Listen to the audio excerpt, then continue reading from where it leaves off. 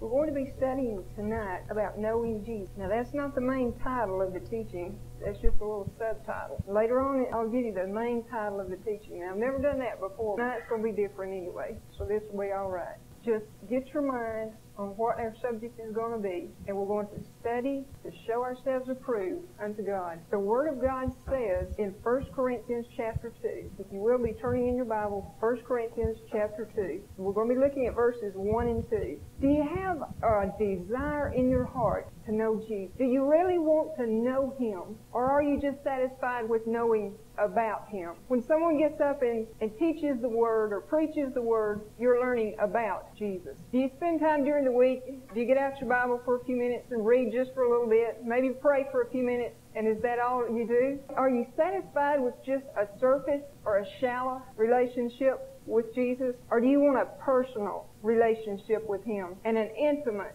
relationship with the Master? Paul had that desire, the desire to know Him. Look at 1 Corinthians 2, verses 1 and 2. It says, And I, brethren, when I came to you, came not with excellency of speech or of wisdom, declaring unto you the testimony of God. For I determined not to know anything among you save Jesus Christ and Him crucified. One of the meanings of that word determine in the Greek is to decide, to decide. And in that phrase, I am determined not to know anything. That word know in the Greek means to be aware, to behold, to consider, have knowledge. And this word comes from another Greek word that means to gaze with wide open eyes as at something remarkable. Paul was saying in these verses, I have decided as an act of my will that I am not going to know anything or be aware or behold or consider or have knowledge of anything else but Jesus Christ and what his death on the cross has accomplished. Can we make this same statement? Paul wanted to know him or to gaze with wide open eyes as at something remarkable. And isn't our Lord Jesus truly remarkable? Turn to Philippians chapter 3. Philippians chapter 3. Paul is saying in this chapter,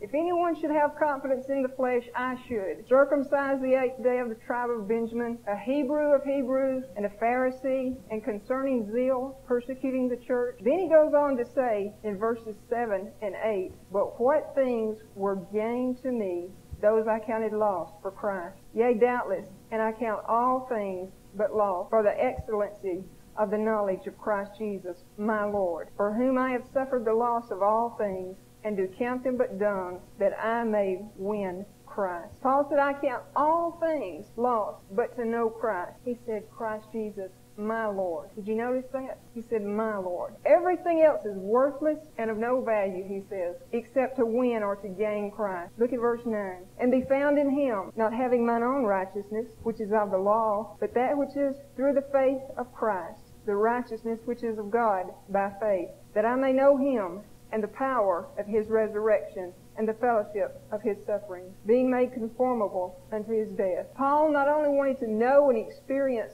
the power of his resurrection, but also the fellowship of his sufferings, or the hardship, or the pain, the affliction. Paul not only wanted to know and experience the good and the easy, all the bless me ways of Christ, but he wanted to know and experience the difficult and the hard ways also. Paul wanted to know and experience everything that there was to know and experience about Jesus. Christ Jesus, my Lord, he said. Paul said that I might know him, and that is the cry of my heart, is to know him, to know Christ Jesus, my Lord and my Master. The Amplified says of the first part of this verse, it says, For my determined purpose is that I may know him, that I may progressively become more deeply and intimately acquainted with him, perceiving and recognizing and understanding the wonders of his person more strongly and more clearly. And is that your desire? It is mine. It's not enough to just read the word or hear teachings about Jesus. We must spend time in his presence to come to know him, to know him and to develop a relationship with Him. You that are married, how did you develop that relationship and come to love that mate? Was it through writing letters back and forth and then reading about that mate? Or was it talking to him on the phone that developed that relationship? No. It was spending time in their presence, being with them that caused that relationship and that love between you to grow. And that's what it takes for us to develop that relationship with our Master is to spend time in His presence, being with Him. My main text tonight is going to be from the book of John. John is my favorite book in the New Testament. It just seems to speak to my heart. That's why I teach so much from the book of John. Do you remember from chapter 6? I taught on I am the bread of life. John chapter 10, I am the door. And also in John chapter 10, I am the good shepherd. In John chapter 12, except a corn of wheat fall into the ground and die, it abides alone. But if it dies, it brings forth much fruit. You remember I spent a whole month on brokenness. Oh, I love the book of John, and that's going to be my main text tonight. But before we go there, I want us to look at a scripture in the Old Testament, and I want to tell you an allegory. An allegory is a symbolic story or a story using symbols. Turn to 1 Chronicles chapter 11. 1 Chronicles chapter 11. Now don't think that this passage is hard because of all of the names in it. And don't get your mind on, well, what does this have to do with the subject of knowing Him? When I tell you the allegory or the little story, you'll see. So just keep an open mind. First Chronicles chapter 11, beginning and verse 10. These also are the chief of the mighty men whom David had who strengthened themselves with him and his kingdom and with all Israel to make him king according to the word of the Lord concerning Israel. And this is the number of the mighty men whom David had. Jashobeam, a Hachmonite, the chief of the captains. He lifted up his spear against three hundred slain by him at one time. And after him was Eleazar, the son of Dodo, the Ahohite, who was one of the three mighties. He was with David at Pasdammim, and there the Philistines were gathered together to battle, where was a parcel of ground full of barley. And the people fled from before the Philistines. And they set themselves in the midst of that parcel, and delivered it, and slew the Philistines. And the Lord saved them by a great deliverance. Now three of the thirty captains went down to the rock to David and to the cave of Adullam. And the host of the Philistines encamped in the valley of Rephaim. And David was then in the hold, and the Philistines' garrison was then at Bethlehem. And David longed and said, Oh, that one would give me drink of the water of the well of Bethlehem that is at the gate. And the three brake through the host of the Philistines and drew water out of the well of Bethlehem that was at the gate, and took it and brought it to David. But David would not drink of it, but poured it out to the Lord and said, My God, forbid it me that I should do this thing. Shall I drink the blood of these men that have put their lives in jeopardy? For with the jeopardy of their lives they brought it. Therefore he would not drink it. These things did these three mightiest. And Abishai the brother of Joab, he was chief of the three. And lifting up his spear against three hundred, he slew them, and had a name among the three. Of the three, he was more honorable than the two, for he was their captain. Howbeit he attained not to the first three. Benaiah, the son of Jehoiada, the son of a valiant man of Kabzeel, who had done many mighty acts, he slew two lion-like men of Moab, also he went down and slew a lion in the pit in a snowy day. And he slew an Egyptian, a man of great stature, five cubits high. And in the Egyptian's hand was a spear like a weaver's beam. And he went down to him with a staff, and plucked the spear out of the Egyptian's hand, and slew him with his own spear. These things did Benaiah, the son of Jehoiada, and had the name among the three mighties. Behold, he was honorable among the thirty, but attained not to the first three. And David set him over his guard. Also the valiant men of the armies were, and it goes on the rest of the chapter and gives the name of the other 37 of David's mighty men. Now notice that there are three groups of men distinguished from the others. In verses 10 through 14, it lists two of the mighty men by name, Jashobeam and Eleazar. Verses 15 through 19 lists three men, and it calls them the mightiest, but it doesn't give you their name. And I want you to remember this, that's important. And in verses 20 through 25, it talks about three mighty men, but it only gives the names of two. Abishai, and Benaiah. It says they were great, but they attained not to the three. There was a rank that was above them. David set his men in degrees and rank according to their service and their devotion to him. And that's how it will be for us. The Lord will set us in ranks according to the degree of our service and our devotion and our relationship with Him. Some will be like the 70 set forth. Some will be like the twelve. Some will be like the inner three. But there will be that one that will be leaning upon his breast, just like these three mightiest leaned upon David's heart. Now, we could go through these verses verse by verse, but I want to put it in the form of an allegory or a story so that hopefully it'll stick in your mind and hopefully you'll remember it longer than it takes the time to get out the door tonight. And listen to the story. I can see all 37 of David's mighty men gathered together one night. And they're sitting around telling war stories and trying to decide which of them is the greatest. You remember the disciples of Jesus doing this? And I can hear them as they begin to recount their mighty accomplishments and their great feats. And I can hear Jashobeam begin. And he says, let me tell you what I did. I killed 300 men at one time in one battle. And Eleazar speaks up. And he says, well, let me tell you what I did. We were in a battle with the Philistines in a field of barley. And all of the other men that were with us, they got scared and they ran away and fled. But David and I stood and we set ourselves in that field of barley and we delivered it and we won the battle. Can you imagine that? Just the two of us standing there and we fought off the whole army. Now, Abishai, it's your turn. Tell us, what did you do that was so great? And Abishai said, well, I killed 300 men also in one battle. You remember Samson, how he killed all those with the jawbone of that ass? Well, I almost did the same thing. It was almost that great. Now, Benaiah, it's your turn. Tell us, what did you do? And Benaiah said, Oh, I did a lot of great things. I killed two lion-like men of Moab, and I went down in a pit and slew a lion in that pit in a snowy day. Oh, but the worst thing, let me tell you about this. David slew his Goliath, but I slew this Egyptian giant. He was seven and a half feet tall, and in his hand was a spear the size of a weaver's beam. And I went to him with only my staff. And with my staff, I plucked that spear out of his hand, and I slew him, and I smote him with his own spear, and I slew him. Boy, that was really something. And I can hear it begin to get quiet. And they began to speak up one by one. And they said, after all of this, after all of these great feats, after all these mighty deeds that we accomplished and performed, yet we still did not get the highest honor. Tell us, you three over there, you haven't said anything yet. Tell us, what did you do to deserve the highest honor?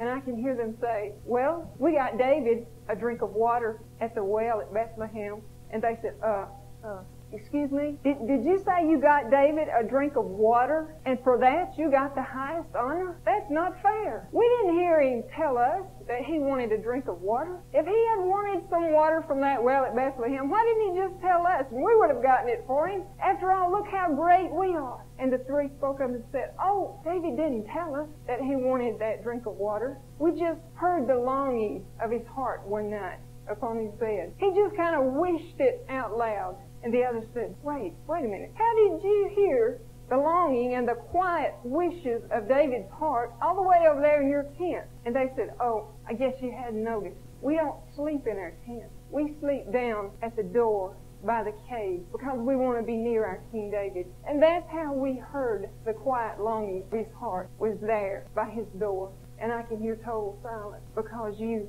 automatically know when you're in the presence of one whose devotion to the Master and to the Lord is greater than your own. And these three mighty men, they wanted to lean upon the heart of their King David. And as a result, they heard his quiet longings and the deepest desires of his heart. If these three natural men had that kind of natural devotion and love for their king, how much more should we have a love and a devotion to our King Jesus and want to be near him and want to lean upon his heart and hear the deepest longings of his heart? What is he saying to us today? What is he saying to this church? What is he saying to you personally? And what is he saying everywhere? He has it. It's his deepest longings and he wants to share it with us. But we must be like those three and lean upon his heart in order for him to speak it to us. Now, before we leave this passage, I want to give you another shade of the meaning of that verse that talks about the three breaking through the Philistines and going to the well at Jerusalem and getting that water. If David was a prophet,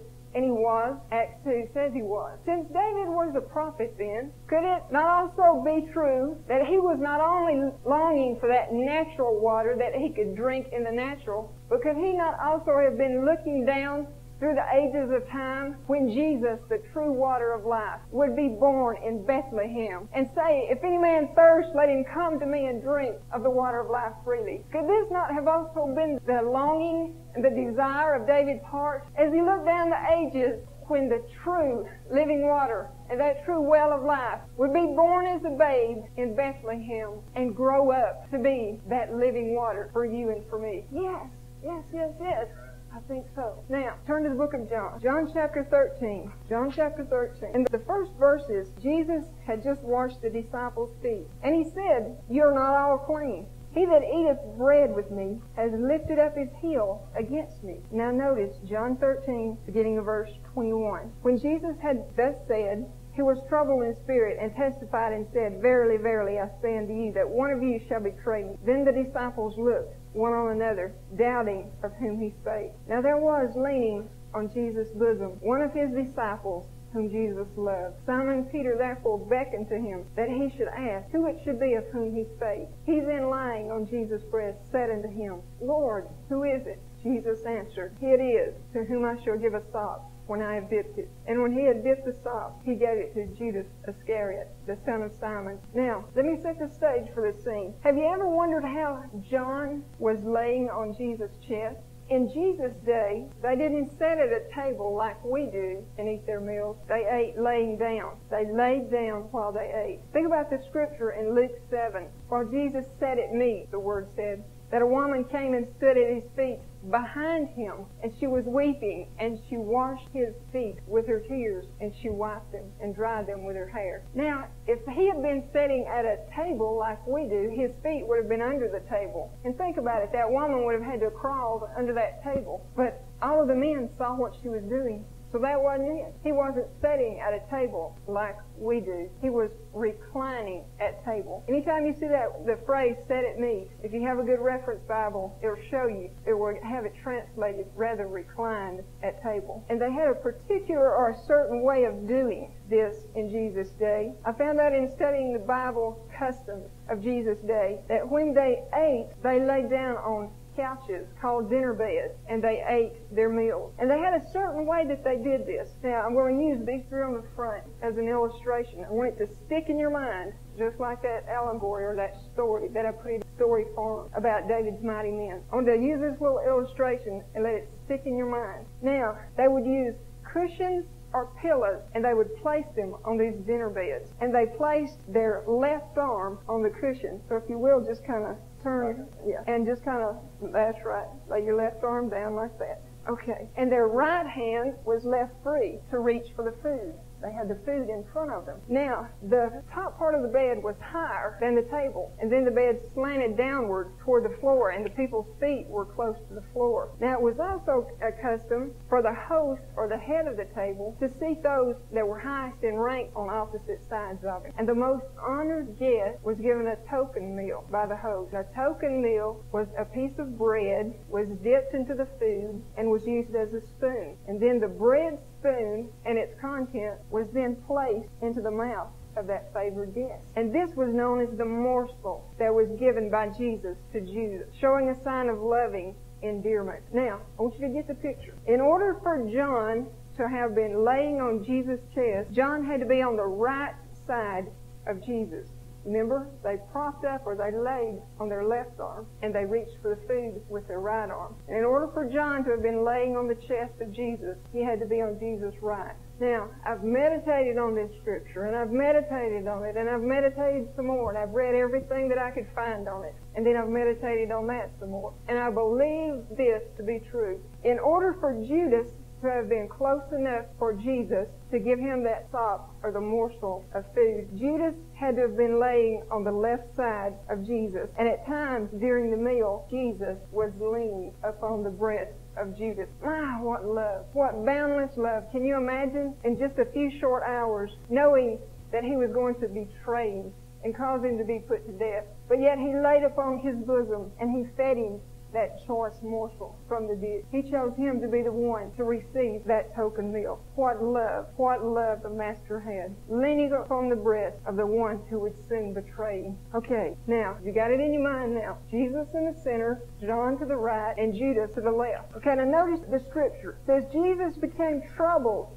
in spirit. And he said, One of you will betray me. And all the disciples, they looked one to another. And nobody said anything. Now, if Peter thought that Jesus would have told him, he would have just in his usual manner just blurted out, well, Lord, who is it? But see, Peter knew that he wasn't going to tell him, and the others did too, so no one asked. But Peter knew that if Jesus would tell anybody, it would be John, because their love and their devotion between Jesus and John was evident to all. Of the twelve disciples, only one was known as the disciple whom Jesus loved, and that was John. You know what the name John means? Whom Jehovah loves, in that neat? So Peter knew that Jesus wouldn't tell him if he asked him and so did the others. So notice what the word said. Peter beckoned. Peter is across the table. They lay on dinner beds, three people per bed. So there was only room for these three on one bed. And the others were on opposite sides of that square table. So Peter was across the table. And he just beckoned. That word beckon in the Greek is nuo. N-E-U-O. It means to nod or to signal or to beckon. Peter didn't say anything. He just signaled to John, in effect, to say, ask him who it is. So John, who was lying on Jesus' breast, said unto him, Lord, who is it? Notice the next word. Jesus answered. There was no hesitation, no delay. Why? Because of John's love and his devotion, and most of all his relationship and his closeness to the Master. Jesus knew of that love and that devotion to him. So when John asked him who it was, Jesus couldn't withhold it from him. He just automatically shared his heart with John and told him who it was. Now, not only did John have his natural ear to the heart of Jesus as he lay upon his chest, but John kept his spiritual ear to the heartbeat of the Master all the time. Sure, he blew it at times. Sure, he failed at times, just like we do. But he kept his ear, his natural ear and his spiritual ear, to the heartbeat of the Master. And that's the title of this teaching. I told you I was going to wait till later to give it to you. That's the title. Keeping your ear to the heartbeat of the Master. Keeping your ear to the heartbeat of the Master. John kept his ear to the heartbeat of the Master, and as a result of doing that, he heard Jesus cry in his deepest burdens and the deepest longings of his heart. Just like those three mighty men in 1 Chronicles 11, they kept their ear to the heartbeat of King David. And as a result of doing that, they heard David's quiet longing and the deepest desires of his heart. Do you remember from the scripture when John first began to follow Jesus, Jesus named James and John the two sons of thunder because they were wanting to call fire down on the people. Do you remember that? But after John walked with Jesus, he was transformed from being that son of thunder into the apostle of love.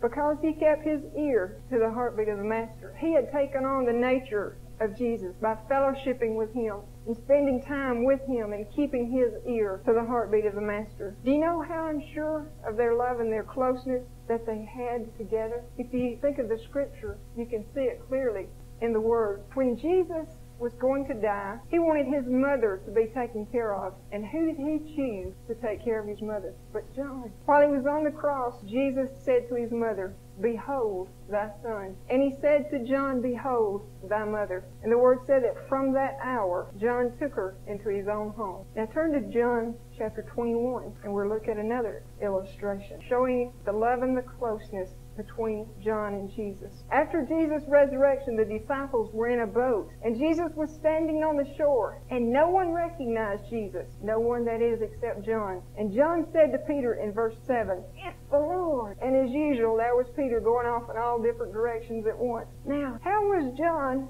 able to recognize Jesus when none of the others did because he had kept his ear to the heartbeat of the Master. He had developed that love and that closeness and that relationship with Jesus, and that's how he knew him. He knew him when no one else did. Now, look on down in John 21. In verses 15 through 18, Jesus had just asked Peter three times, Peter, do you love me? And then Jesus said to Peter in verse 19, well, follow me. And in verse 20, Peter turned around and there was John following them. You see, John didn't want Jesus to be too far away from him. He wanted to be in his presence no matter what. John was always going to be there where Jesus was because he loved him that much. He wanted that special relationship. He had that love and that closeness to the Master. And shouldn't we be the same way? And notice in verse 22 that Jesus didn't rebuke John for following them. Instead, he asked Peter in effect, he said, well, what's it to you? And tradition says that they tried to kill John by putting him in a pot of boiling oil, but this didn't hurt him. So then he was exiled to the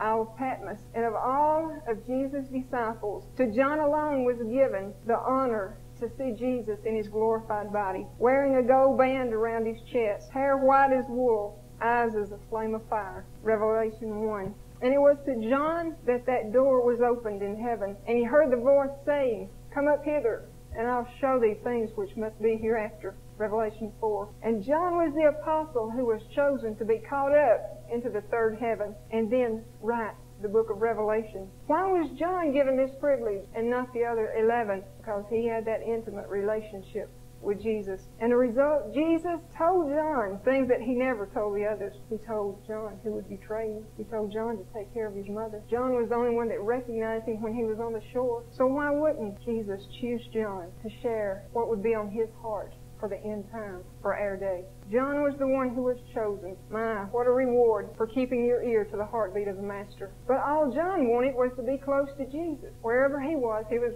following along there behind, just like we read in John 21. All John wanted to be was just be with him, be close to him, be in his presence. And as a result, John really came to know him in a way that I'm sure he never dreamed was possible. And we have the opportunity to know him if we keep our ear to the heartbeat of the Master. He will reveal to us then his deepest longing and the desire of his heart. Just like the three mighty men in 1 Chronicles 11. They wanted to be near their King David, and as a result they heard the deepest longing and the desire of their king's heart. Remember I told you they were nameless? The Word didn't even give their names, and it gave the names of the others, pointed them out, told of their mighty acts and mighty feats and mighty deeds that they performed. But those three that got the highest honor, they were nameless. It isn't the ones who have the most recognition and who's in the spotlight all the time. It may not be the head intercessor that Jesus chooses to reveal his heart to, but it's the nameless ones like you and I who have the potential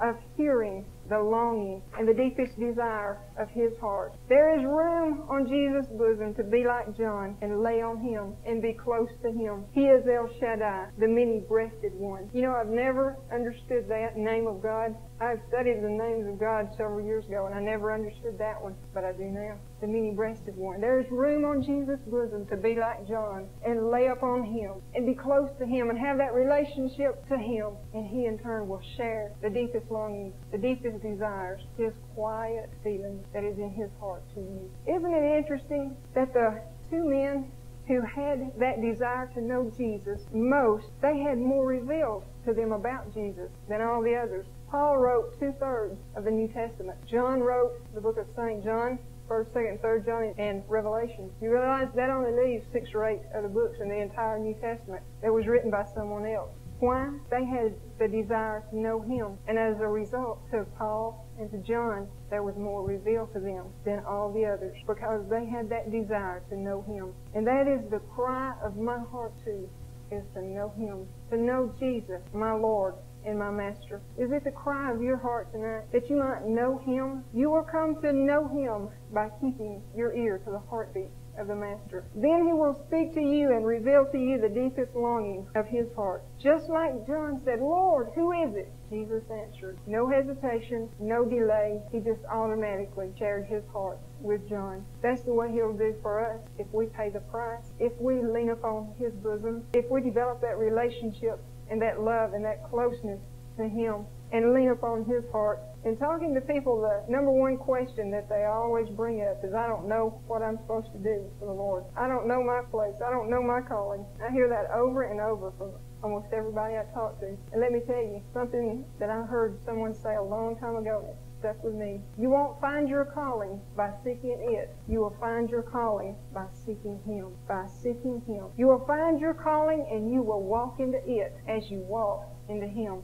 You will find your place by seeking His face. That's the only way you'll do it. Call on Him. If you seek Him with all of your heart, you will find Him. But we must seek Him. We must seek Him. In both 1 Chronicles 28 and 9 and 2 Chronicles 15 and 2, it says, If you seek Him, He will be found of you. If you seek Him, He will be found of you. Now turn to one last scripture. Jeremiah, the book of Jeremiah, Jeremiah 29, Jeremiah 29, 11 through 14. For I know the thoughts that I think toward you, saith the Lord, thoughts of peace and not of evil, to give you an expected end. Then shall you call upon me, and you shall go and pray unto me, and I will hearken unto you. And you shall seek me and find me, when ye shall search for me with all of your heart, and I will be found of you, saith the Lord. If you call upon him, notice verse 12, says that he will hearken or give you his ear. Which do you want? His ear